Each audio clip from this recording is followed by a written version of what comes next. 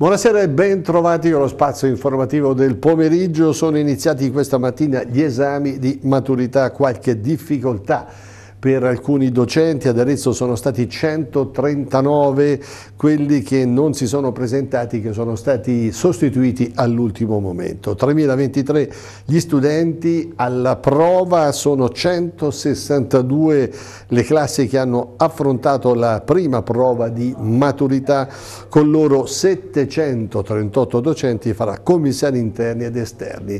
In serata un servizio approfondito su questo importante giorno giorno per gli studenti.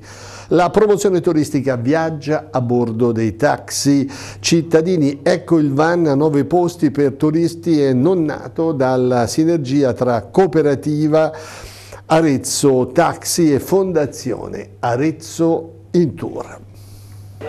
Si amplia l'offerta dei trasporti per turisti e cittadini. Grazie all'accordo tra Cooperativa Taxi e Fondazione Arezzo in Tour è in servizio un nuovo mezzo. È un mezzo nove posti dove potrà eh, accompagnare i turisti che arrivano sempre maggiormente all'interno della città, all'interno del comune, dove desiderano andare nei vari agriturismi che sono dislocati qui intorno. Un turismo sportivo che aumenta sempre di più i giovani, i ragazzi che vorranno andare in discoteca. Oltre al trasporto delle persone, il van ha anche un'ulteriore funzione. Pubblicizzare la città stessa con le vetrofanie che abbiamo di Piazza Grande e tutte le varie eh, informazioni che possono avere i turisti tramite il QR code. C'è anche poi l'applicazione che è stata potenziata, anche questo è uno strumento in più a disposizione degli utenti e non solo. Sì, sì, abbiamo questo nuovo dispositivo per lavorare, è un'applicazione collegata con la centrale operativa del nostro call center che è a Milano, Taxi Blu Milano, e dunque arriva la telefonata lì, l'operatore inserisce i dati e ricerca il taxi libero più vicino al cliente o il taxi occupato che si libera in un minor tempo. In più abbiamo anche l'applicazione App Taxi gratuita dove il cliente la può scaricare, non passa dal centralino ma viene localizzato il cliente in base a dove si trova e il taxi automaticamente arriva sempre il taxi più vicino. Lo potremmo definire un mezzo a vocazione turistica? Assolutamente sì, abbiamo fatto un accordo che sì, prevede la personalizzazione, la sponsorizzazione del mezzo, ma anche tutta una serie di, eh, di servizi che la cooperativa Taxi renderà alla Fondazione Arezzo in Tour e ai turisti soprattutto. La cronaca padre e figlia di 19 anni gravissimi in ospedale dopo uno schianto avvenuto ieri sera sull'E 45 in direzione nord tra Montone e Promano. I due che viaggiavano in sella ad una moto sono rimasti feriti in uno scontro con un'auto. Nel, nell'impatto è stato coinvolto anche un camion. Padre e figlia, entrambi di Città di Castello, sono stati soccorsi dai vigili del fuoco. La ragazza è rimasta incastrata sotto l'auto, sul posto anche i carabinieri per i rilievi di legge, il 118 per i soccorsi. La ragazza è stata ricoverata in terapia intensiva all'ospedale di Perugia, il padre invece all'ospedale di Città di Castello. La pagina politica nel PD cortonese non c'è un'atmosfera tranquilla e non solo per la posizione espressa da Andrea Vignini, l'attuale capogruppo Andrea Bernardini non è contento di come stanno maturando le cose. Se Atene piange, anche Sparta non ride ad un anno dal voto, lo scacchiere politico di Cortona è quanto mai un magma in continua evoluzione. A destra è noto che il sindaco Luciano Meoni sia ormai un corpo estraneo. I rapporti di fatto sono da separato in casa nell'attesa della fine della legislatura. Meoni dribbla sulla questione e ora pensa solo al cinquecentenario di Signorelli, mentre il centrodestra, nelle sue varie espressioni, è ormai deciso a giocare le sue carte in maniera differente rispetto all'appuntamento della prossima primavera. Conoscendo Meoni dubitiamo che se ne resti in un angolo e di sicuro il sindaco, che è un combattente nato, appronta la sua lista come ha fatto in altre occasioni.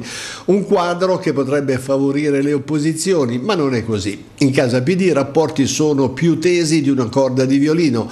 La disponibilità manifestata da Andrea Vignini, rientrato da poco alla casa madre, non ha avuto una risposta promossa dal vertice cortonese che si sta muovendo in altre direzioni. Nei giorni scorsi si è tentato addirittura un approccio con il direttore del MAN Paolo Giulierini, personaggio di spicco di Cortona ma impegnato in altre situazioni e non è un caso che il suo museo non faccia parte di quelli che dovranno cambiare direzione.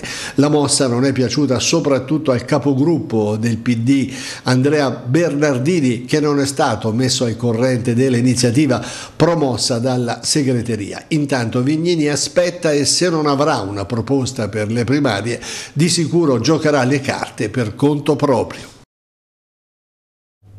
Serata di festa d'Arezzo alla Fortezza Medice ha infatti ospitato Aperitivo in Fortezza, evento promosso dalla Regione, Fondazione Sistema Toscana, Toscana Promozione, la Nazione con la regia di Confcommercio.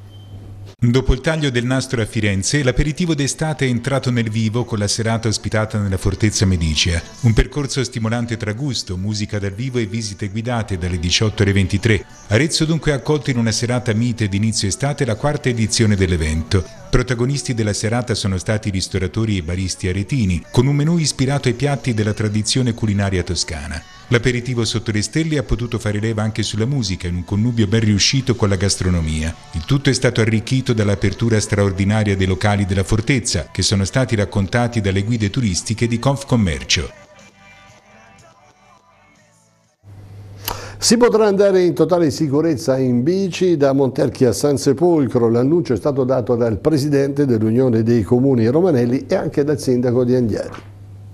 Momento importante per eh, la ciclovia di cui si parla da anni eh, tra San Sepolcro e Monterchi, perché dopo il progetto è il momento dell'inizio dei lavori, quindi della realizzazione. Ne parliamo con il Presidente dell'Unione dei eh, Comuni, eh, ex Comunità Montana, eh, nonché Sindaco di Monterchi, Alfredo Romanelli. Si comincia. Oggi eh, c'è la consegna ufficiale dei lavori per la costruzione della ciclovia eh, dalle ville di Monterchi a San Sepolcro, un importante progetto percorrendo quello che era in gran parte la vecchia eh, ferrovia, eh, laddove possibile, dove non è possibile ovviamente eh, sono stati ideati dei percorsi alternativi, comunque eh, è un progetto sul quale tutta la Valtiberina, soprattutto i tre comuni, Anghiari, Monterchi e San Sepolcro ci tengono molto e oggi iniziamo questo percorso importante, i primi 600 mila euro eh, che sono stati investiti in questo progetto. Alessandro Polcri, sindaco di Anghiari, presidente della provincia di Arezzo. Sì, diciamo innanzitutto per me è una, una, punta di orgoglio perché, lo ricordavo prima, come presidente dell'Unione fui colui che mise delle risorse importanti col bilancio dell'Unione per, per, valorizzare questo progetto della ciclovia.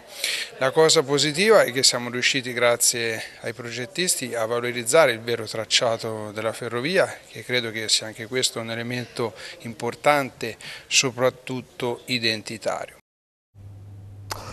Tutti per il fiume, un fiume per tutti è lo slogan che ha accompagnato il Baby River Day lungo il torrente Chiassa, un'iniziativa promossa dal Consorzio di Bonifica che ha coinvolto più di 300 ragazzi.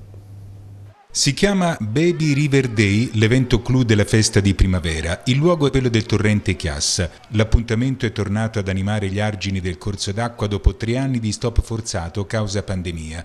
Oltre 300 bambini delle scuole materne ed elementari delle frazioni di Antria, Ceciliano, Chiassa, Giovi e Tregozzano hanno trascorso la giornata sul torrente nel Baby Villaggio, costruito e animato proprio da loro. Un progetto che vuole rideterminare e sottolineare qual è l'importanza, il rispetto che dobbiamo avere dei corsi d'acqua, che è una risorsa, della quale però dobbiamo anche temerla questi progetti servono per educare i cittadini e quindi chi meglio dei bambini, che sono i cittadini di domani, a questi valori. I bambini sono molto motivati, sono partiti un po', eh, un po', stanchi perché non sapevano effettivamente cosa dovevano fare, poi li abbiamo aiutati, ognuno gli dava una mano a, a costruire, a imparare a fare gli spaventapasseri, a imparare a fare le capanne, imparare a fare l'orto per il villaggio. Sì, noi siamo i Birbi Verdi del centro aggregazione di Tregozzano, però c'è anche il circolo della Chiassa, il circolo di Giovi, siamo le, la comunità educante della Valle del Chiassa, un'idea che è venuta con il progetto eh, appunto del, um, intorno al fiume Chiassa, vorremmo mettere insieme tutte le associazioni, il terzo settore, le parrocchie e le scuole, perché crediamo che intorno a un piano ambientale si possa fare comunità e associazionismo e tutte cose, che a noi piace farlo così insomma. Il tour della terza commissione regionale della sanità è giunto all'ospedale del Casentino per verificare luci ed ombre.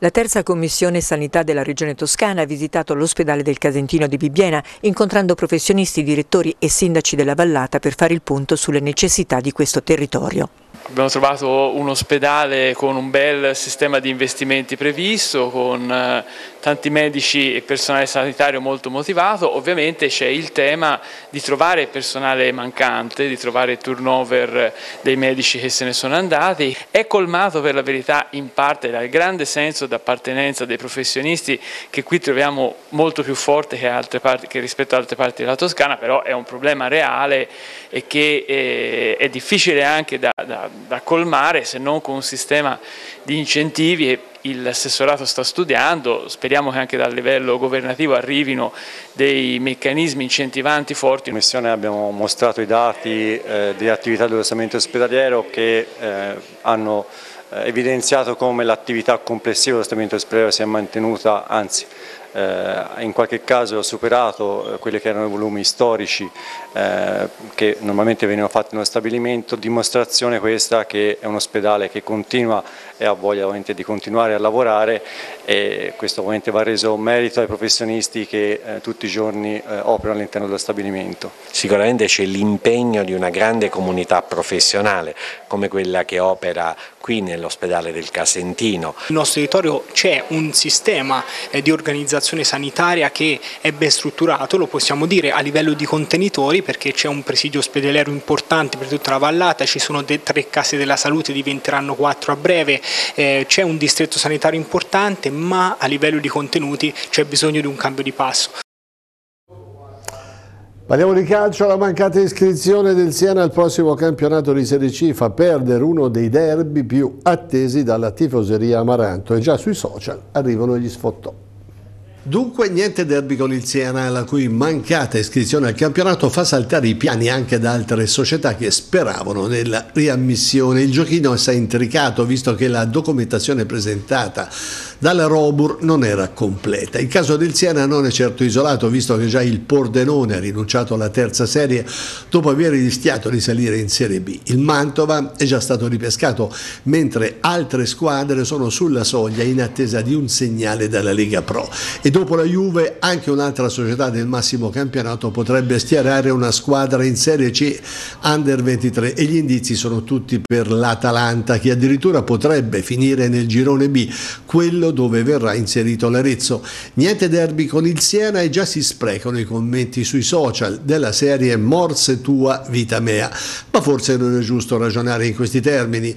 Siena paga vecchie colpe, ma alla fine, come accaduto ad Arezzo, sono sempre i tifosi che poi scontano il tutto. Il derby ha un suo fascino ed ha un senso al campionato e attenzione perché il Perugia potrebbe essere anche ripescato in Serie B. In ogni caso queste potrebbero essere le avversarie degli Amaranto, Carrarese, Lucchese e Pontedera per le Toscane, Atalanta Under 23, Olbia e Torres, quattro marchigiani, ancora Fermana, Recanatese e Vispesaro, due Umbre, Gubbio e Perugia, quattro Emiliano Romagnole, Cesena, Spalle, Rimini e Fiorenzuola, due Liguri, Sestri, Levante, neopromossa e Virtus Entella. E chiudiamo ricordando gli appuntamenti di questa sera del nostro dopo il nostro telegiornale Spazio Newsline 910 poi lo spazio salute, a seguire chilometro lanciato, in primo piano il giro del Montalbano di Macchereto, classica Elite Under 23, la rubrica di ciclismo a cura di Fabrizio e Massimo Biondi e tra l'altro questa è una corsa molto cara al nostro Fabrizio visto che nel 1962 si piazzò al quarto posto in questa competizione. È tutto, prossimo appuntamento con l'informazione alle 19.45 con il TG Centro, poi ci vediamo alle 20.30 buonasera.